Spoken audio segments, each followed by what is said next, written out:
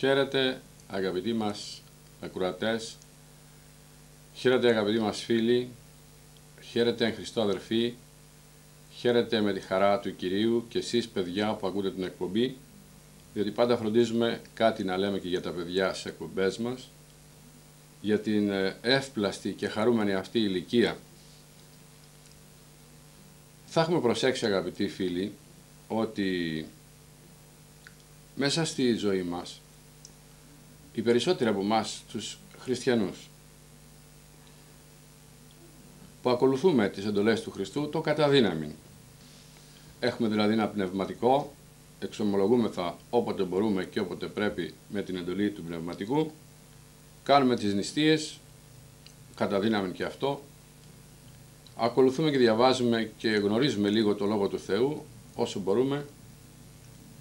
Σε αυτούς, σε εμάς δηλαδή, αυτούς επικρατεί άποψη ότι ε, όλα πρέπει να μας έρχονται κατά ε, ευθεία. Δηλαδή όλα μας έρχονται κατευχήν και τίποτα να μην συμβαίνει που να μας ταράζει τη ζωή. Κι όμως είναι λάθος αγαπητοί φίλοι εκείνος ο οποίος πηγαίνει με τους, με του Χριστού το δρόμο να ζητάει ανταλλάγματα για καλοζωία και για οτιδήποτε. Είναι η αλήθεια ότι πολλοί δεν θέλουν να πάνε με το Θεό το δρόμο, διότι ο Θεός τους δείχνει κάποια εκπαίδευση, δηλαδή τους πιάνει πολλές φορές από το αυτί και τους ταρακουνάει. Και δηλιάζουμε όταν γίνεται αυτό το ταρακούνημα και λέμε γιατί να μου τυχαίνουν εμένα αυτά και είναι καλύτερα όμως να πειράζεται κανείς προσωρινά σε αυτόν τον κόσμο παρά να κολλάζεται αιώνια στην άλλη ζωή. Αν δούμε τις περιπτώσεις εκείνες του Χριστού με τους μαθητές του, θα δούμε και αυτοί πόσα πέρναγαν, έτσι, και με τι α, δοκιμασίες δοκιμάστηκαν, ακόμα και όταν ήταν με τον ίδιο τον Χριστό, για να δρεωθεί η πίστη τους. Και θυμάστε στην έρημο εκεί που έθρεψε 5.000 ανθρώπους εκτός από τις γυναίκες και τα παιδιά, άνδρες δηλαδή 5.000, και όταν οι μαθητές του είπαν είναι έρημος ο τόπος, άφησέ τους να πάνε να φάνε, τι πάθανε μετά που σήκωσαν τόσα κοφίνια, ο καθένας από ένα μεγάλο κοφίνι με ψάρια και ψωμιά, για να μάθουν να μην λένε άλλη φορά ότι εκεί που είναι ο Χριστός ο, κόσμος, ο τόπος είναι έρημος. Όπου είναι ο Χριστός ο τόπος είναι ευλογημένος, όποιος πιστεύει στο Θεό βρίσκεται στη χώρα της ευλογίας, με τη μόνη διαφορά ότι θα υποστεί κάποιες δοκιμασίες στη ζωή του, διότι με αυτές τις δοκιμασίες γίνεται έμπειρος στον πόλεμο εναντίον του, δαιμο, του δαίμονα, εναντίον των κακών ανθρώπων και όλα αυτά. Συμβαίνει δηλαδή, με λίγα λόγια, οι κακοί αυτοί οι άνθρωποι που μας περιστοιχίζουν καμιά φορά και μας δημιουργούν τα προβλήματα, αυτοί οι ίδιοι να είναι η αιτία που κάνουμε εμείς πνευματική πρόοδο. Αλλιώς λοιπόν τα βλέπει ο κόσμος και αλλιώς τα βλέπει ο άνθρωπος του Θεού. Και όταν ε, μπήκανε λέει στο καράβι αργότερα, μετά το θαύμα των πέντε άρτων και των δύο ηχθείων, τους έστειλε με το καραβάκι να περάσουν στη θάλασσα για να βγουν απέναντι. Και τι έπαθαν, έπαθαν τρικυμία στη μέση της, του, της λίμνης και εκεί λαχτάρισαν, λαχτάρισαν. Και λένε ότι ο Πέτρος γράφει το Ευαγγέλιό μας ότι είδε τον Χριστό καθώς τον είδαν και άλλοι. Στην αρχή τρόμαξαν, τότε είπε ο Χριστός ότι εγώ είμαι Τότε αυτή, α, ο Πέτρος είπε «Κύριε, κάνε να έρθω, διέταξέ με να έρθω πάνω στα κύματα να σε συναντήσω». Και καθώς ο Πέτρος περπατούσε, είδε λέει ξαφνικά τον άνεμο ότι ήταν δυνατός και βούλιαξε. Δηλαδή, άφησε από τα μάτια του τον Χριστό.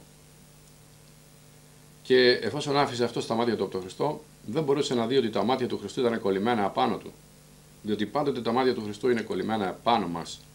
Αυτό πρέπει να το ξέρουμε, να το πιστεύουμε. Και να γυρίζουμε προς τα πάνω και να λέμε Χριστέ μου, με βλέπεις που πονώ και υποφέρω. Με βλέπεις που υβρίζομαι άδικα ή που με εκμεταλλεύονται ή που με ρίχνουν οικονομικά σε όλες αυτές τις περιπτώσεις. Και ο Κύριος θα σου κουνήσει το κεφάλι και θα σου πει σε βλέπω και σε παρατηρώ, διότι ο Κύριος παρατηρεί και βλέπει τους πάντες και τα πάντα. Τους έβλεπε και στη θάλασσα που χαροπάλευαν με τα κύματα, αλλά ήθελε και αυτοί να του δείξουν την απόλυτη εμπιστοσύνη στο πρόσωπό του. Διότι ο κόσμος πάντοτε θα μας δημιουργεί μια κόντρα, μια αντίθετη έτσι νοοτροπία από αυτή που θέλουμε εμείς να ακολουθήσουμε και επόμενο είναι να έρχομαι, ερχόμαστε σε σύγκρουση. Ο κόσμος είναι σαν ένα ποτάμι που κατεβαίνει και αυτός είναι στην πραγματικότητα και εμείς είμαστε αναγκασμένοι να πηγαίνουμε στις περισσότερες περιπτώσεις αντίθετα προς το ρεύμα του κόσμου. Και πρέπει να μάθουμε να υπακούμε. Να υπακούμε και ακόμα μέσα στη φουρτούνα και δεν πήγανε μόνοι τους τότε οι μαθητές να παλέψουν με τη θάλασσα, αλλά τους έστειλε ο ίδιος ο Χριστός. Έχει σημασία αυτό, ότι εκείνη τη στιγμή ήταν στην υπακοή του Χριστού. Και κατόπιν ο Χριστός διατάσσει, λέει, τους ανέμους να σταματήσουν. Δεν, ε, δεν τους συμπονά όταν υδρώνουν και υποφέρουν, διότι και ο ίδιος ίδρωσε και υπέφερε είναι ο πνευματικός αυτός νόμος, ότι δεν πρέπει να έχουμε ανέσεις σε αυτόν τον κόσμο, εάν θέλουμε να έχουμε ανέσεις στον κόσμο τον προσδοκόμενο, στην επουράνιο βασιλεία του Χριστού. Ο Απόστολος Παύλος όργωσε κυριολεκτικά, ξυπόλυτος στην οικουμένη σε τρεις μεγάλες περιοδίες, αλλά εμείς θέλουμε να είμαστε πάντοτε στο κάθισμα του αυτοκινήτου και να είμαστε μέσα στα, ε, στα μέσα αυτά τα οποία μας ε, καλύπτουν και μας ευχαριστούν. Δεν είναι όμως έτσι. Όποιος θέλει να κάνει κάτι καλό, αναγκαστικά θα έρθει σε σύγκρουση με αυτά που είναι γύρω-γύρω. Και όταν ε, του είπε τους, στον Πέτρο και στους άλλους ότι μήπως θέλετε να φύγετε κι εσείς, ο Πέτρος γύρισε και του είπε πού να πάμε Κύριε, πού αλλού υπάρχει κάποιος ο οποίος να μας έχει υπό την αιγίδα του να μας Ποιος, σε ποιον άλλον να πάμε εκτός από σένα, είπε ο Πέτρος. Γι' αυτό δεν πρέπει να γυρίζουμε πίσω εφόσον κάνουμε το σωστό και το εγκρίνει ο Χριστός τις περισσότερες περιπτώσεις αυτό που κάνεις ή το εγκρίνει το Ευαγγέλιο και η συνείδησή σου και όταν ο άνθρωπος θέλει να βαδίσει την ζωή αυτή η οποία παρομοιάζεται με μια θάλασσα απρόοπτη και βρώμικη στις περισσότερες περιπτώσεις ε, θα δούμε, παραδείγματος χάρη, τους γονείς, το σύζυγο, τη σύζυγο, την πεθερά, τα παιδιά, να μας δημιουργούν σκάνδαλο όταν θέλουμε να κάνουμε κάτι καλό, παραδείγματος χάρη να προσευχηθούμε ή να πάμε στην εκκλησία. Θα δούμε ότι πολλοί θα πούνε ε, μην πηγαίνεις πια, όλο πηγαίνεις στην εκκλησία κλπ. Ε, και θα μας φέρουν παντοειδή εμπόδια να τρώνε παραδείγματος χάρη Τετάρτη και Παρασκευή κρέας επίτηδες για να μας βάλουν σε πειρασμό να φάμε και εμείς. Αλλά όλα αυτά είναι γραμμένα και θα δώσουν λόγο και αυτοί για αυτό που κάνουν, αλλά και εμείς για το πώς αντιδρούμε. Είναι μεγάλη λοιπόν η φουρτούνα του κόσμου τούτου για τον χριστιανό. Τη στιγμή που ο άνθρωπος θέλει να μπει στην υπακοή και στο λόγο του Χριστού, θα πρέπει να ετοιμαστεί να, να τον ηρωνευτούν, να τον πετροβολήσουν και είναι παρηγορητικό το γεγονός ότι πάντοτε, όπως είπε και ο θυμόσοφος και σοφός κολοκοτρώνης, πάντρα πιτροβολούν τα δέντρα της καρυδιές που έχουν καρύδια. Διότι εάν είναι ξερό το δέντρο και άγωνο, αν δεν έχει καρπούς, δεν το πετροβολεί κανένας. Εάν όμως έχει καρπούς, το δέντρο το πετροβολούν. Α μην σου φαίνεται παράξενο λοιπόν όταν συγχρονεύονται, αν είσαι κοπέλα και κρατάς την παρθενία σου και άντρας, αγόρι, ο οποίος και εσύ θες να κρατήσεις μια αγνότητα ζωής, να σε ηρωνεύονται γύρω σου, να τους βάζεις και ο δαίμονας ακόμα να σε πειράζουν, να σε ενοχλούν, να σε στεναχωρούν, να σου δημιουργούν πρόβλημα. Εκεί θα φανεί λοιπόν η αξία του ανθρώπου, διότι τι να το κάνουμε να μας δώσουν επιστοποιητικό οι άνθρωποι στη στιγμή που δεν περνάει αυτό για το Θεό, το πιστοποιητικό του Θεού πρέπει να μας ενδιαφέρει και αυτό είναι το διαβατήριο, το σφραγισμένο, το οποίο μας βάζει στην αιωνιότητα και αυτό πρέπει να επιδιώκουμε.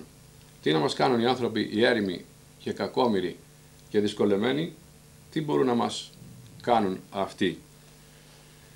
Αλλά ο Χριστός μπορεί να μας δώσει αυτό το οποίο ποθεί η ψυχή μας, δηλαδή την αιώνια βασιλεία Του. Φαίνεται παράξενο και όμως είναι αλήθεια ότι πολλές φορές όταν θέλουμε να κάνουμε κάτι καλό, εκείνη την ώρα ακριβώς παθαίνουμε κάποια ζημιά, κάτι που να μας αποτρέπει από αυτό. Και το έχουμε δει χιλιάδες φορές αυτό να συμβαίνει στη ζωή μας και εσείς αγαπητοί φίλοι πιστεύω, θα δείτε ότι ο σατανάς επιστρατεύει τους ανθρώπους του ακριβώς όταν πρόκειται ο άνθρωπος να κάνει κάτι καλό για το Θεό. Και ενώ ο Κύριος έχει κάνει τόσα πράγματα και τόσα θαύματα και συνεχίζει να κάνει στη ζωή τη δική μας και στη ζωή των προηγουμένων ανθρώπων που έζησαν, εμείς είμαστε ολιγόπιστοι και καμιά φορά στεκόμαστε στην επιστήμη, στη λογική και αυτά τα πράγματα μας αποτρέπουν πολλές φορές από την πίστη η οποία είναι μια πηγαία δύναμη ψυχική η οποία δεν χρειάζεται να έχει αποδείξεις ε, ούτε ιστορικές, ούτε ψυχολογικές, ούτε μαθηματικές για να πιστέψει κανείς. Όταν λοιπόν θέλουμε να κάνουμε κάτι για τον Χριστό, για το Ευαγγέλιο, για την υπακοή και το θέλημα του Θεού, θα δούμε αντίδραση από το περιβάλλον μας, μερικές φορές έντονη, άλλες φορές άτονη, πάντως θα δούμε και μια αντίδραση. Κάποιος λέει ότι όταν κάνεις κάτι καλό θα σου πάρει ο σατανάς το 10%. Έστω και το 10% θα στο διεκδικήσει να το πάρει, αν δεν στο πάρει ολόκληρο. Και ο σοφός λαός λέει πως δεν του έκανα κανένα καλό γιατί μου κάνει κακό, για να δείξει την αχαριστία. Όταν λοιπόν άρχισε να μην βλέπει από τα μάτια του ο Πέτρος το Χριστό, αλλά γύρισε να δει τα κύματα και τον άνεμο για να δει πώς είναι τα πράγματα γύρω του, τόσο ώστε να κανονίσει τη στάση του και τότε άρχισε λέει να καταβυθίζεται. Ας προσέξουμε ότι ο, είναι δυνατόν ο Κύριος την ώρα που βυθίζεται ο άνθρωπος να τον, να τον ακούσει. Εάν φωνάξει, γιατί ο Πέτρος λέει φώναξε Κύριε σώσομαι. Αυτό το Κύριε σώσομαι ας το λέμε σε κάθε περίπτωση που έχουμε ε, δυσκολία και να δείτε ότι ο Πέτρος ενώ ήταν ένας έμπειρος ψαράς, ένας άνθρωπος της θαλάσσης που την πάλευε τη θάλασσα καθημερινά, παλικοβλήθηκε σε τέτοιο βαθμό και έχασε τόσο πολύ το θάρρος του για να μας δείξει ακριβώς ότι ο άνθρωπος μπορεί όσο και έμπειρος και καλός και δυνατός να είναι στη ζωή να χάσει, να χάσει τα ζύγια του όταν πάρει τα μάτια του από τον Χριστό. Αν όμως αμέσως μετανοήσει και πει Χριστέ μου, εγώ έφταιγα που σε εγκατέλειψα και όχι εσύ γιατί εσύ δεν με εγκαταλείπεις ποτέ, τότε υπάρχει αυτή η περίπτωση ο άνθρωπος να σωθεί και να γίνει το θαύμα που έγινε με τον Πέτρο που τον έπιασε ο Χριστός και τον ανέβασε πάλι γιατί άρχισε να καταποντίζεται στην ταραγμένη λίμνη. Μας το έχει αυτό το Ευαγγέλιό μας για να καταλάβουμε ότι συμβολικά ο κόσμος είναι αυτή η ταραγμένη λίμνη. Και ο Χριστός είναι σαν να μας λέει θέλεις να σωθείς από αυτή την ταραχή; Λοιπόν, κοίταγε με μένα συνέχεια και μην κοιτάζεις τίποτε άλλο το οποίο να σε αποτρέπει από αυτό το οποίο θα σε σώσει. Αλλά και όταν πέφτουμε στον δρόμο, σηκωνόμαστε. Δεν πέφτουμε και λέμε θα κάτσω κάτω εδώ γιατί μπορεί να ξαναπέσω αύριο μεθαύριο ή του χρόνου και να καθίσουμε κάτω πεσμένοι. Όχι. Αλλά σηκωνόμαστε. Λέμε βοήθεια. Λέμε βοήθεια. Αυτή τη στιγμή ακριβώς που λέμε βοήθεια ενεργοποιείται με την πίστη μας η δύναμη του Θεού, η δύναμη του Χριστού, η οποία όσο και μας φαίνεται παράξενο, αδρανοποιείται με την απιστία του ανθρώπου. Είναι όπως είπαμε πνευματικός νόμος. Ο ίδιος ο Κύριος έχει θέσει αυτό το πνευματικό νόμο. Μα είναι λίγες οι περιπτώσεις που οι άνθρωποι περνάνε από καταστάσεις δύσκολες, από φτώχεια, από πτωχεύσεις, από οτιδήποτε. Είναι σαν σαν να βυθίζεται κάποιο καράβι. Το καράβι που βυθίζεται, ας υποθέσουμε ότι δεν εκπέμπει το σως, αλλά δίπλα του βρίσκεται ένα ναυάγο σωστικό. Θα πάει το καράβι αν δεν ακούσει το σως να εκπέμπεται; Όχι, δεν θα πάει, διότι δεν εκλήθη. Έτσι είναι και ο Χριστός. Πρέπει να κληθεί, μας ζητάει να τον καλέσουμε για να έρθει να μας βοηθήσει. Εκεί που μπορούμε μια μετάνοια και μια καθαρή εξομολόγηση να κερδίσουμε την αιωνιότητα, ας το κάνουμε, διότι πολλοί δεν το κάνουν από τον εγωισμό τους. Δεν μας κοστίζει απολύτως τίποτα. Μας κοστίζει λίγη ταπείνωση να πάμε και να πούμε τα λάθη, της αμαρτίας και τις αστοχίες της ζωής μας σε ένα πνευματικό. Έχουμε συμφέρον λοιπόν και ο Θεός ενεργοποιεί τη δύναμή Του όταν εμείς έχουμε μετάνοια και όταν ζητάμε τη βοήθειά του. Από εγωισμό πολλές φορές και από ψεύτικη πεποίθηση στον εαυτό μας την πατάμε. Πήγανε λέει ο Ευαγγελιστής Ιωάννης να πάρουν τον Χριστό μέσα στο καΐκι. Διαβάσετε εκεί στο έκτο κεφάλαιο του Ιωάννη ότι το καΐκι μόλις μπήκε ο Χριστός ξαφνικά το καΐκι βρέθηκε μέσα στο λιμάνι. Το γράφει αυτό, επιχείρησαν λέει να τον πάρουν και το καΐκι μπήκε μόνο του στο λιμάνι. Ε, το λιμάνι λοιπόν είναι πάντα δίπλα μας. Αυτό θέλει να μας δείξει ότι δεν θα αργήσει η ώρα που θα έρθει η βοήθεια του Χριστού. Ας βάλουμε λοιπόν τον Χριστό στο καΐκι μας, στη βάρκα μας, στο σπίτι μας. Ας τον βάλουμε στην εργασία μας, ας τον βάλουμε παντού όπου ζούμε και υπάρχουμε και πράγματα τα οποία δεν μπορούμε να κάνουμε εμείς οι ίδιοι, είτε με τους εγωισμούς μας, είτε με τους πολιτικούς, είτε με τα μέσα, είτε με οτιδήποτε άλλο. Πολλοί θέλουν να διαιρούσουν τα παιδιά τους και τρελαίνονται με αυτή την ιδέα, αλλά κάνουν και μια προσευχή στον Χριστό να μας βοηθήσει. Για είμαστε εγωιστές και λέμε θα βοηθηθούμε από τους πολιτικούς ή από κάποιους γνωστούς ή τέλος πάντων από την τύχη όπως λένε μερικοί. Έχω τη γνώμη ότι από, από, από, από εσάς που ακούτε αγαπητοί φίλοι, πολλοί αγαπάτε και πιστεύετε τον Χριστό. Έστω, δεν νομίζω ότι δεν υπάρχει Έλληνας που έστω και λίγο να μην αγαπάει και να μην σέβεται τον Χριστό. Και αν είναι μια εξαίρεση, αυτή θα είναι πολύ μικρό ποσοστό. Διότι η Ελλάδα αγάπησε τον Χριστό σε όλη αυτή την περίοδό της και είναι παράξενο πώς ε, δεν έχουμε πάντοτε τον Χριστό στο τιμόνι και στην πορεία του ε, καραβιού μας. Διότι αν δεν υπάρχει ο Χριστός στο τιμόνι, προσέχτε μια λεπτομέρεια που είναι κολοσιαία εδώ που τα λέμε και όχι λεπτομέρεια αλλά πνευματικός νόμος, εάν δεν υπάρχει ο Χριστός στο τιμόνι δεν μπορούμε να οδηγήσουμε εμείς στο τιμόνι γιατί δεν έχουμε και εμείς πρόσβαση στο τιμόνι. Όταν δεν είναι ο Χριστός στο τιμόνι, ποιος είναι στο τιμόνι, είναι οπωσδήποτε ο Σατανάς. Σας φαίνεται περίεργο, σας φαίνεται δίλημα, σας φαίνεται κάτι το οποίο δεν έχετε σκεφτεί ποτέ; Και όμως έτσι συμβαίνει. Όταν φεύγει ο Χριστός από το, τιμόνι, το τιμόνι της ζωής μας, του σκάφους της ζωής μας, τότε μπαίνει ο σατανάς. Η θάλασσα πάντοτε θα είναι άλλοτε ήρεμη και άλλοτε δυνατή σε αυτή τη ζωή και τα κύματα πολλές φορές θα μας σκεπάζουν. Αλλά και, βρα... και βρεμένοι να είμαστε, το θέμα είναι να μπορέσουμε να σωθούμε από αυτή τη μεγάλη τερκυμία. Γι' αυτό ο άνθρωπος πρέπει να έχει καραβοκύρι το Χριστό μας. Να έχει βάρκα με δύο κουπιά, στο ένα θα γράφει πίστη και στο άλλο θα γράφει έργα. Ένα φτερό του αϊτού είναι η πίστη και το άλλο φτερό είναι τα έργα. Δίχως τα δύο φτερά το πουλί δεν μπορεί να, πετάσει, να πετάξει. Γιατί αν λέμε πιστεύουμε μόνο και δεν κάνουμε τίποτα, αυτό δεν λέει. Δεν λέει τίποτα. Διότι ο σατανάς πιστεύει, όπως μας λέει ο Ιησούς Ιάκωβος, και φρύτει. Πιστεύει δηλαδή και τρέμει. Διότι τι, δεν είναι συμβιβασμένο το πνεύμα του με το πνεύμα του Χριστού. Γι' αυτό φρύτει, αλλά πιστεύει. Ξέρει ότι υπάρχει Χριστός και ανωτέρα δύναμη θεϊκή, όχι μια απρόσωπη ανώτερη δύναμη που λέμε. Α σταματήσουμε αυτό το η ανωτέρα δύναμης. Γιατί η ανωτέρα δύναμης τι είναι, Μια άγνωστη, ένα ουφό, μια δίχως ταυτότητα δύναμης, αντικείμενα άνευ ταυτότητος όπως λένε για τα ουφό, άτια, UFO, όχι. Η δύναμη είναι συγκεκριμένη. Αυτή η δύναμη που χρειαζόμαστε στο τιμόνι της ζωής μας λέγεται Χριστός. Όχι οποιαδήποτε δύναμη.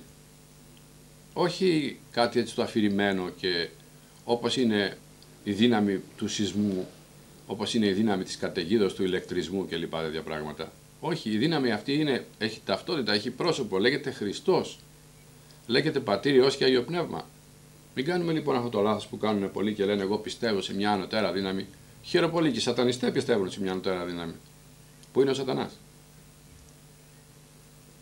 Όλα λοιπόν αυτά τα πράγματα πρέπει να τα δούμε και να τα εξορροπήσουμε μέσα στην διανόησή μας και να ξέρουμε τι γίνεται. Ο Χριστός είναι μεγάλος και δυνατός όταν εμείς τον επικαλούμαστε. Ο Χριστός αδρανοποιείται όταν εμείς δεν τον θέλουμε. Και εμείς περισσότερο ζητάμε τις ώρες της ανάγκης στην επαφή με τον Θεό και όχι τις ώρες της γαλήνης. Κι όμως, θα πρέπει να το ζητάμε σε όλες τις περιπτώσεις. Όσοι πιστεύουν και καθάρισαν τον εαυτό τους με μετάνοια και ξερομολόγηση, λαμβάνουν, έχουν καθαρίσει το εσωτερικό τους για να μπει αυτή η Αγία δύναμη, αυτό που λέμε Άγιον Πνεύμα. Δεν πατάει, όπως η περιστρά του Νόε δεν πάτωσε στα πτώματα, έτσι και το Άγιο Πνεύμα δεν έρχεται στον άνθρωπο ο οποίος έχει βρώμικο τον εσωτερικό του κόσμο. Ε, βιάζεται, λέει ο Κύριος, η Βασιλεία των Ουρανών. Δηλαδή με βία, με προσπάθεια θα την πάρουμε τη Βασιλεία του Θεού και όχι χαλαρά, κοινικά και αδρανός. Αλλά με προσπάθεια, όπως είπαμε, είναι μια θάλασσα φρισμένη και πρέπει να δαμαστεί, να την περάσουμε με ταχύτητα, με δύναμη, με βία, βιάζοντας τον εαυτό μας στα πνευματικά. Εκεί μπορούμε να εξασκήσουμε. Η μόνη περίπτωση που εξασκούμε βία είναι στα πνευματικά. Και στα σωματικά ζητάνε βία μερικοί άνθρωποι, όπως ήταν οι Άγιοι, οι οποίοι έκαναν και άσκηση σωματική με τις μετάνοιες, με τις αγρυπνίες, με τις νηστείες, αλλά και πνευματική, διότι το ένα βοηθάει το άλλο. Ε, έχουμε την Παναγία της Μαλεβή που τόσα θαύματα μας κάνει και μας λέει κάποιος να πούμε δύο λόγια και με το μύρο αυτό που βγαίνει από την εικόνα της Παναγίας της Μαλεβή μα είναι μόνο ένα αυτά αγαπητέ μας φίλε δεν είναι τόσα τα θαύματα της Ορθοδοξίας που είναι αδύνατο κανείς να κάτσει μόνο να τα αναφέρει και να τα, να τα περιγράψει. Πόσοι από εμάς δεν έχουμε δει θαύματα τα οποία γίνονται, αλλά και πολλές φορές θέλουμε μερικά θαύματα και δεν γίνονται. Ας εξετάσουμε γιατί και ας αναζητήσουμε την αιτία γιατί δεν μας εισακούει πολλές φορές η Παναγία.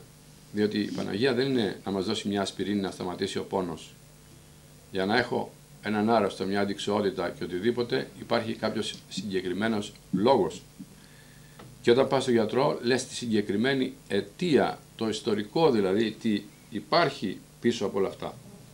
Ας μην μας βρει λοιπόν ο Θεός α, δίχως εξοπλισμό όταν είμαστε μακριά από το Θεό, μακριά από την Εκκλησία, πώς είναι δυνατόν να γίνει το θαύμα αυτό το οποίο προσδοκούμε; Και πολλές φορές νομίζουμε ότι φταίει κάποιος άλλος μέσα από το σπίτι μας, αλλά φταίμε εμείς οι ίδιοι, οι οποίοι δεν έχουμε τακτοποιήσει τις αμαρτίες μας πρώτα, όταν ο άνθρωπος εξομολογηθεί, μετανοήσει και λύνει τα χέρια του Χριστού στην κυριολεξία. Λύνει τα χέρια του Θεού να τον βοηθήσει. Ε, όταν εμείς εξακολουθούμε να κάνουμε τις αμαρτίες που κάνουμε, όταν εμείς δεν έχουμε συνέστηση του τι σημαίνει να είσαι καθαρός και να ακολουθείς το καταδύναμη αυτά που πρέπει να κάνεις, τις υποχρεώσεις, τις πνευματικές υποχρεώσεις, μην ζητάς αγαπητέ φίλε να σε εισακούει πάντοτε ο Θεός, η Παναγία και ο Χριστός, διότι δεν σε συμφέρει. Δεν σε συμφέρει, δεν σε συμφέρει. Είναι μια αφορμή λοιπόν αυτό που έχουμε να ζητήσουμε από τον Χριστό, να χτυπήσουμε την πόρτα του Χριστού και ο Χριστός θα μας ανοίξει. Κάποιος λέει πάω να σπάσω την πόρτα του Χριστού. Θέλει να μας πει ότι ο Χριστός πάντοτε ακούει και για να μην ανοίγει έχει το λόγο του και ας φροντίσουμε εμείς να βρούμε ποιος είναι αυτός ο λόγος που δεν ανοίγει η πόρτα του Χριστού και με τις πρεσβείες της Παναγίας να πάρουμε το αίτημα αυτό το οποίο ζητάμε. Να είμαστε λοιπόν χαρούμενοι επειδή ο Κύριος μας περιμένει και μας περιποιείται, μας αγαπάει και μας φροντίζει.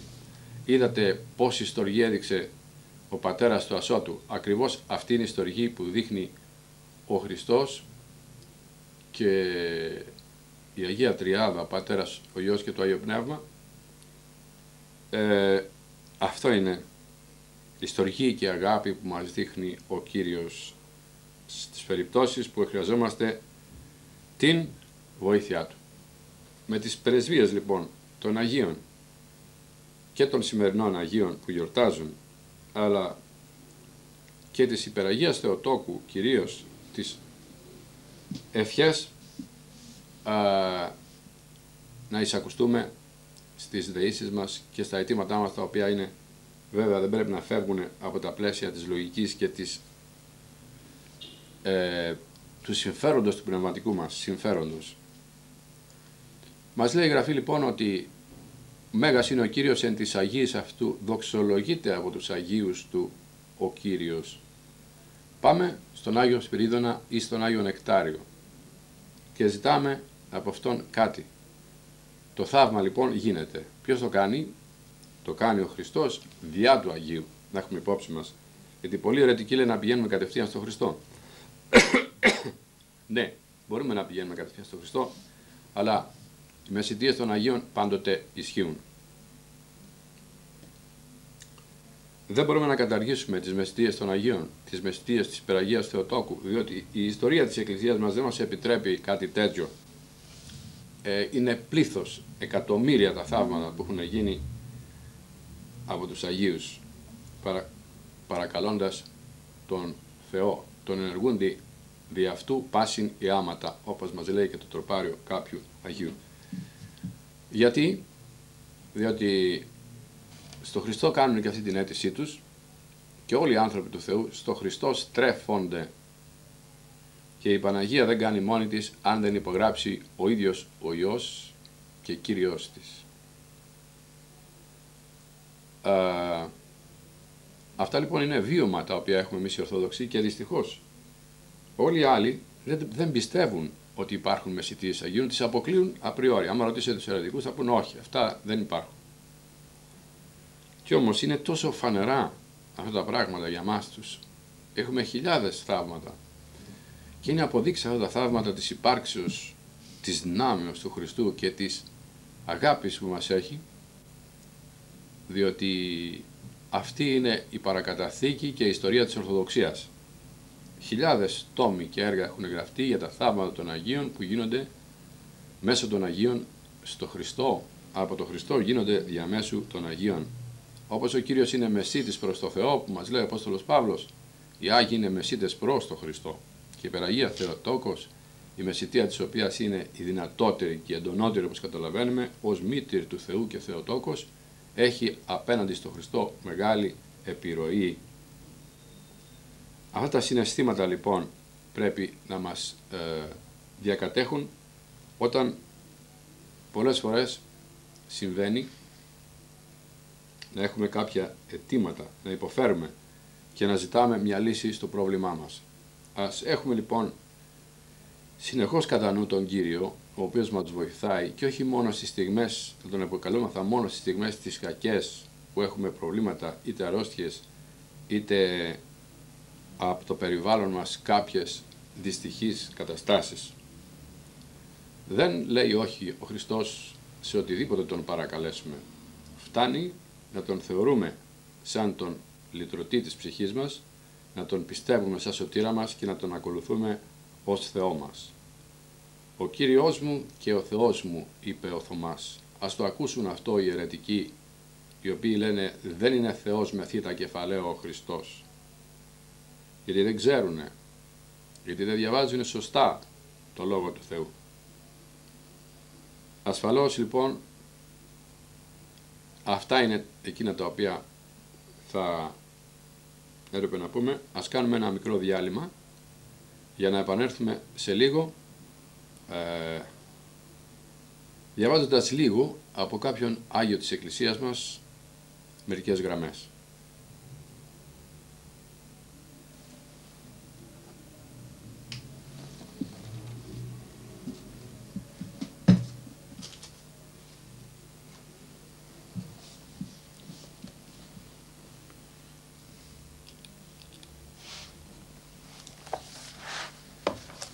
Ηλίας Μινιάτης.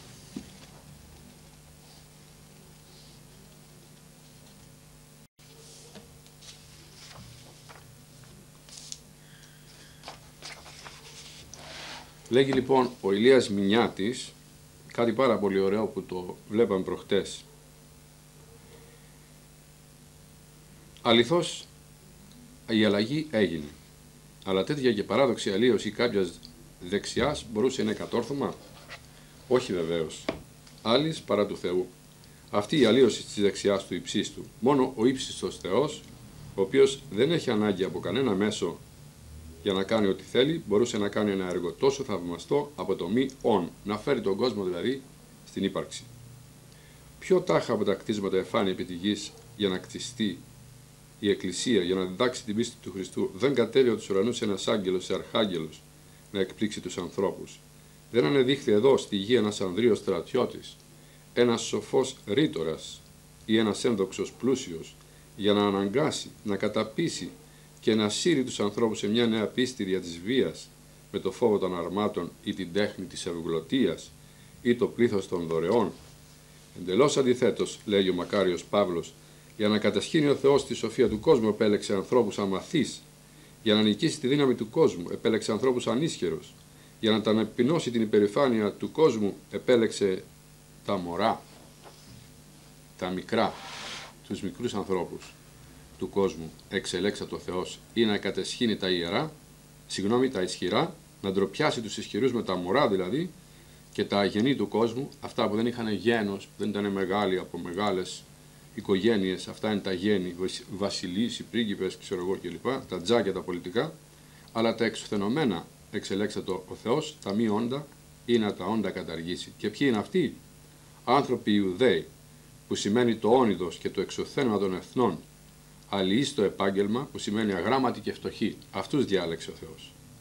12 στον αριθμό, πολύ λίγοι, συγκριτικά με στρατούς που στέλνουν μερικές φορές για να κάνουν προσιλητισμό κλπ. Αυτοί είναι εκείνοι που διάλεξε ο Θεός να υπάγουν να κηρύξουν το Ευαγγέλιο σε όλο τον κόσμο. Πορευθέντες, κηρύξατε πάση τη κτήση. Μου φαίνεται ότι τους βλέπω. Να, κατεβαίνουν από το υπερό της Ιερουσαλήμ και ετοιμάζονται για να υπάγουν άλλο στο ένα και άλλο στο άλλο μέρος της οικουμένης.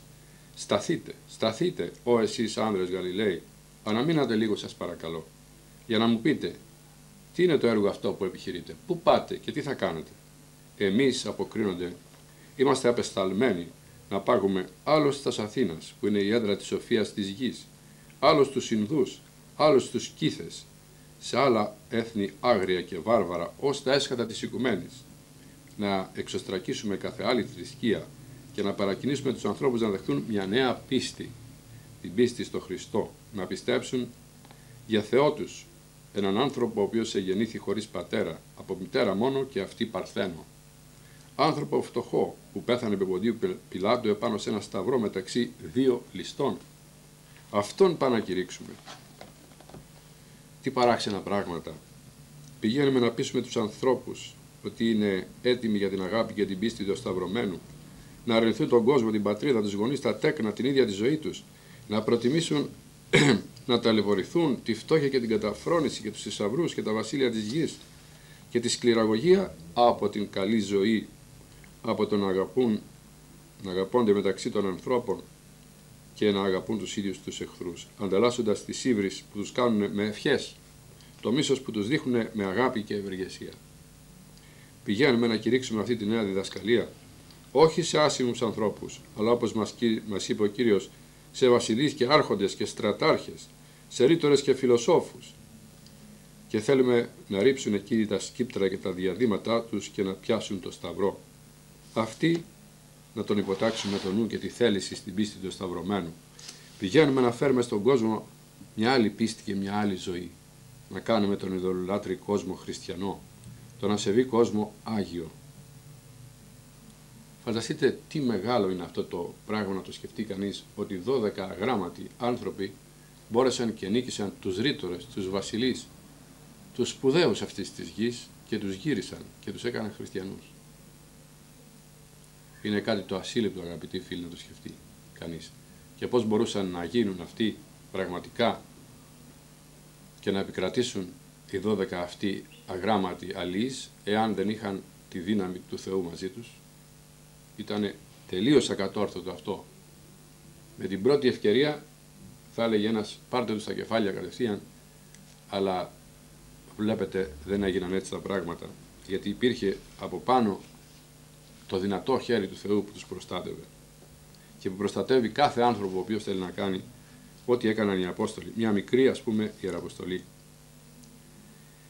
Πράγματι λοιπόν, εσείς αναλαμβάνετε μια μεγάλη και δύσκολη αποστολή, αλλά καλά, πού είναι τα στρατεύματά σας; Είμαστε μόνο 12. Εκείνος που σας έστειλε, σας παρήγγειλε να μην πάρετε μαζί σας ούτε ραβδί, συγγνώμη, Έχετε λοιπόν το νου σας να φέρετε στους ανθρώπους στη γνώμη σας με ένα μεγάλο οικονομικό απόθεμα που έχετε, πλήθος χρημάτων, να, να εξαγοράσετε τους ανθρώπους με τα χρήματά σας για να σας πιστέψουν. Όχι, δεν έχουμε τίποτα, ούτε μια δραχμή δεν έχουμε. Τότε μήπως είστε εύγλωτοι ρήτορες για να πείσετε τους ανθρώπους να δεχτούν αυτά τα οποία εσείς πρεσβεύετε; Όχι, δεν ήταν ρήτορες, λίγα πράγματα. Δεν ήξεραν καλά-καλά τη δική τους γλώσσα. Ούτε αυτό διαθέτουμε εμείς. Δεν γνωρίζουμε τη σοφία του κόσμου και δεν μιλάμε άλλη γλώσσα παρά του τόπου μας. Αραμαϊκή γλώσσα μιλούσαν οι, οι Απόστολοι. Τότε με τι ελπίζετε να στρέψετε στην πίστη έναν ολόκληρο κόσμο; Δεν ήταν μια γειτονιά που έπρεπε να κάνουν χριστιανούς, αλλά ήταν όλοι οι οικουμένοι. Αυτό είναι το μεγάλο πράγμα.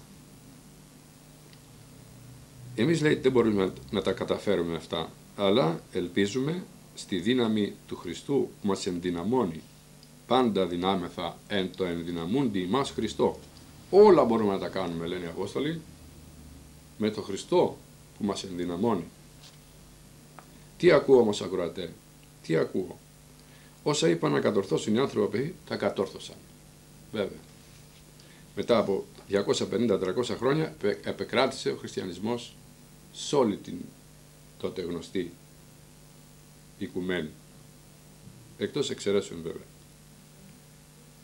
Και σε χίλια χρόνια επεκράτησε σε όλη την Ευρώπη, σε όλη την Ασία και σε όλα τα γνωστά μέρη που ξέρουμε. Τώρα σας παρακαλώ να μου πείτε ποιος μπορούσε να κάνει ένα τέτοιο κατόρθωμα, να χτίσει δηλαδή αυτή την ορθόδοξη πίστη και εκκλησία κάτω από αυτές τις προϋποθέσεις, τους διωγμούς, τις τυραννίες. Τα λέγει ο Παύλος. Είναι ο παντοδύναμος Θεός. Ναι. Δεξιά εκεί, Κυρίου επίησε δύναμη, όχι αγγέλου, όχι ανθρώπου, αλλά εκείνη η πανίσχυρη δεξιά του Θεού, η οποία έβγαλε από το μείον των κόσμων της φύσεως, έβγαλε και από το μείον των κόσμων της χάριτος. Ώστε η Ορθοδοξία, αγαπητοί φίλοι, δεν είναι ένα απλό πράγμα κατασκεύασμα ανθρώπων, είναι θείον καθίδρυμα. Είναι θεία στις αρχές της. Είναι θεία στην αύξησή της, αλλά και ο τρόπος με τον οποίο αυξήθηκε είναι θείος.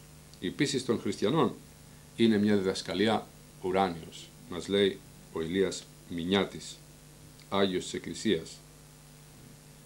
Είναι μια διδασκαλία υπερφύσιν, πάνω από τα πράγματα τα γνωστά του κόσμου.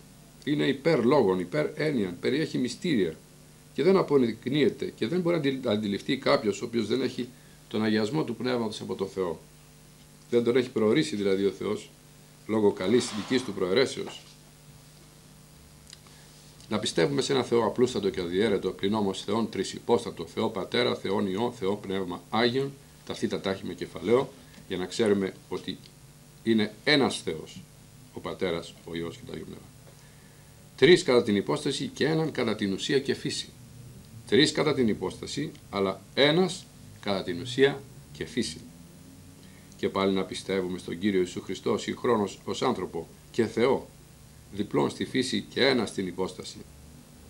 Τι σοφός και συνήσει και αντιληφθεί τα αυτά, ποιο σοφός μπορεί να τα καταλάβει αυτά, αν δεν έχει πίστη και αν δεν έχει ενέργεια από το Θεό μέσα του; Να, βλέπουμε εκεί στην Αγία Τράπεζα τον Άρτο και πιστεύουμε ότι εκεί είναι αληθινά το σώμα του Ιησού Χριστού. Σώμα έμψυχο, σώμα ολόκληρο, το οποίο ορίζεται σε έναν τόπο, αλλά δεν περιγράφεται, δεν διαμελίζεται και δεν διαιρείται. Τρώγεται πάντοτε και ουδέποτε τελειώνει, δεν δαπανάται. Και πάλι η πίστη των χριστιανών είναι νόμος εξ ολοκλήρου πνευματικός και άγιος. Τι μας παραγγέλει ο νόμος του, μας διατάζει πτωχία, παρθενία, νηστεία, εγκράτεια, ταπεινοφροσύνη και αγάπη τέλεια και παραγγέλει να αγαπάμε και τους εχθρούς. Ο νόμος ο οποίος θέλει τον άνθρωπο στο σώμα, αλλά θέλει τον άνθρωπο πνευματικό και άγιο και στο σώμα και στο πνεύμα. Αυτά τα πράγματα τα οποία δεν δέχονται με τα χαράς οι ανθρώπινοι, δεν τα δέχεται η ανθρώπινη θέληση. Δηλαδή η σάρκα του ανθρώπου δεν μπορεί να δεχτεί αυτά τα πνευματικά θέματα. Γι' αυτό υπάρχει και η σύγκρουση, ο αγώνας μεταξύ του σαρκικού ανθρώπου και του πνευματικού ανθρώπου. Και όποιος νικάει ανα πάσα στιγμή. Όχι, όλη η δύναμη των ανθρώπων είναι συντροφισμένη με όλη τη δύναμη των δαιμόνων και αντιστάθη και αντιπολέμησε. Κάνετε μια υπόθεση, αγαπητοί μου φίλοι, ότι βλέπουμε έξω σε έναν αγρό λίγα πρόβατα που πολεμούν με λύκους και μάλιστα με λέοντες. Και και τελειώνουμε, να μην σας κουράσουμε. Με δράκοντες και άλλα θηρία αναρρύθμιτα στο πλήθος, ανήμερα στην αγριότητα, θανατηφόρα στο δηλητήριο. Αν εβλέπατε τα λίγα εκείνα πρόβατα να νικήσουν και να διώξουν και να διασκορπίσουν τους λύκους και τους λέοντες και τους δράκοντες και όλα τα θηρία και έπειτα διαμοιρασμένα σε διάφορους τόπους της γης να πολλαπλασιαστούν τόσο ώστε να αυξηθούν και να γίνουν ένα πολυάριθμο πίμνιο, τι θα λέγατε. Βέβαια, από αυτό το πράγμα δεν είναι φυσικό, αλλά είναι εξαίσιο το θέαμα. Τούτο είναι αληθινό γιατί συνέβη στην Εκκλησία του Χριστού. Εκεί βλέπω σαν 12 πρόβατα τους 12 εκείνους Αποστόλους τους οποίους απέστειλε ο Χριστός στο παγκόσμιο κήρυγμα σαν σε πολεμικό αγρό. Τους το προείπε όμως, ιδού εγώ αποστέλω εμάς ως πρόβατο, πρόβατα εν μέσω λύκων. Είναι δυνατόν τα πρόβατα να νικήσουν τους λύκους; Εκεί φαίνεται η δύναμη του Θεού. Ότι τελικά τα πρόβατα νίκησαν τους λύκους. Και πάντοτε θα νικούν τους λύκους, διότι το πρόβατο το εσφαγμένο, ο Κύριος ημών ο Χριστός, είναι ο νικητής όλων, είναι ο άρχον των αρχόντων και ο βασιλεύς των βασιλέων. Είναι ο Κύριος μας και Θεός μας, ο σωτήρ και λυτρωτής μας. Και συνεχίζει λίγο ακόμα. Και δεν είναι μόνο λύκοι, χριστιανομάχοι Ιουδαίοι, είναι και λέοντες, δηλαδή τύρανοι βασιλείς, διώκτες της πίστεως, είναι δράκοντες, οι αποστάτες και οι αντίθεοι δαίμονες, θηρία αναρρύθμιτα, ορατοί και αόρατοι εχθροί, τα οποία εξήλθαν με άκρατη ορμή και θυμό να πολεμήσουν τα πρόβατα του Χριστού, την νεόλεκτον, νεοσύστατη δηλαδή εκκλησία. Αλλά τι παράδοξο θαύμα που βλέπω. Βλέπω ότι εκείνα τα πρόβατα νίκησαν, έδιωξαν, διασκόρπισαν τους λύκους και τους λέοντες και τους δράκοντες και όλα τα θηρία. Έδιωξαν και τους Ιουδαίους και τους τυράννους και τους δαίμονες. Τους νίκησαν όλους αυτούς τους εχθρούς. Βλέπω ότι τα ταπεινοί εθριάμβευσαν απέναντι των υπερηφάνων. Οι άοπλοι απέναντι των δυνατών. Οι πτωχοί και αγράμματοι απέναντι των βασιλέων, των ρητόρων και των φιλοσόφων. Οι δώδεκα αυτοί έγιναν αναρρύθμιτοι, αυξήθηκαν, πληθύνθηκαν, γέμισαν όλη τη γη. Βλέπω ότι επάνω στα τρόπια του συγγνώμη, καπιτολίου της Ρώμης υψώθη ο σταυρός του Χριστού. Βλέπω στην Αθήνα ότι έπεσε ο βωμός ο αφιερωμένος στον άγνωστο Θεό και προσκυνείται τώρα ο εσταυρωμένος. Βλέπω ότι καθώς λέγει ο Χρυσόστομος, πολύ σύντομα αλληλείς και τελώνες επεκράτησαν στην κορυφαία των πόλεων και ως κοινοποιός όλη την Ελλάδα έφερε στο Χριστό. Βλέπω ότι ο λαός ο καθήμενος σε σκότη είδε φως μέγα. Βλέπω, βλέπω, παν όρος και βουνών τεταπεινωμένων, τα σχολιά στρεβλά, τις ευθείες οδούς λίες, τις τραχίες λίες. Βλέπω έθνη, βάρβαρα, βαπτισμένα. Βλέπω πόλεις, επαρχίες, βασίλεια ορθόδοξα, ερήμους γεμάτους από ασκητές και μοναστήρια και άγιες παρθένες. Βλέπω αναρρύθμιτα πλήθη μαρτύρων να τρέχουν για την αγάπη του Χριστού στο μαρτύριο, μαρτύριος ως πρόβατα επισφαγήν. Βλέπω την πρώην άθεη κοινωνία, τον πρώτο, τον πρώην ασεβή και ακάθαρτο τώρα να είναι ευσεβής και άγιος και χριστιανός. Κηρύτεται παντού το Ευαγγέλιο παντού νικά η πίστης. Τούτο το μέγα έργο έγινε με τη δεξιά του Κυρίου, με το χέρι του Θεού. Ναι, η δεξιά του Κυρίου είναι εκείνη η οποία αύξησε την Ορθοδοξία. Ελάτε τώρα άθεοι, ελάτε άπιστοι, ελάτε ασεβείς, ελάτε όλοι οι εχθροί της Ορθοδόξου πίστεως. Όσες ακτίνες έχει ο ήλιος, τόσες είναι οι αποδείξεις που βεβαιώνουν ότι η πίστη που κρατώ είναι η αληθινή πίστη. Όμως εγώ θέλω να σας προβάλλω ένα επιχείρημα. Αυτά τα θαύματα με τα οποία λέγω πως ο Θεός αύξησε την πίστη των χριστιανών ή αληθινά έγιναν ή δεν έγιναν ή αν έγιναν λοιπόν αυτή είναι η αληθινή πίστη του Θεού για την οποία ο Θεός έκανε τόσα θαύματα. Και συνεχίζει το όμορφο αυτό κείμενο του Λία Μινιάτη σε μια άλλη δεδομένη στιγμή θα το τελειώσουμε γιατί είναι αρκετό ακόμη να καταλάβουμε πόσο πολεμήθηκε η Ορθοδοξία και με ποιους τα έβαλε, με τι εχθρούς τα έβαλε η Ορθοδοξία μας. Είναι ένα βιβλίο το οποίο συνιστούμε σε όλους τους αγαπητούς φίλους. Είναι από το Άγιον Όρος, εκδίδεται τώρα τελευταία είναι, το 2004 νομίζω ότι έγινε. Αν δεν κάνω λάθος, ναι, Άγιον Όρος. Και Ευαγγελίων Αγίου Νικολάου Μπουραζέρη. Μπουραζέρη. Ομιλίες των Αγίων Πατέρων λέγεται Πατερικών Κυριακοδρόμιων και το διαβάζουμε στην Πυραϊκή Εκκλησία κάθε Σάββατο. Εδώ μας τελείωσε η εκπομπή μας. Αγαπητοί φίλοι, είπαμε πολλά, ας συγκρατήσουμε λίγα. Το ότι πρέπει να κοιτάμε το Χριστό σαν τον πολικό αστέρα της ζωής μας. Να μην χάνουμε από τα μάτια μας τον Χριστό. Ανά πάσα ώρα και στιγμή να είναι στο μυαλό μας ο Χριστός. Να έχουμε μια σχέση μαζί Του. Προσωπική σχέση αγάπης. Και όλα τα άλλα θα πάνε κατευχήν. Να είστε καλά. Μέχρι την επομένη μας εκπομπή που αν θέλει ο Θεός θα έχουμε πάρει ένα θέμα για την Ορθοδοξία μας. Χαίρετε, χαίρετε εν Κυρίω.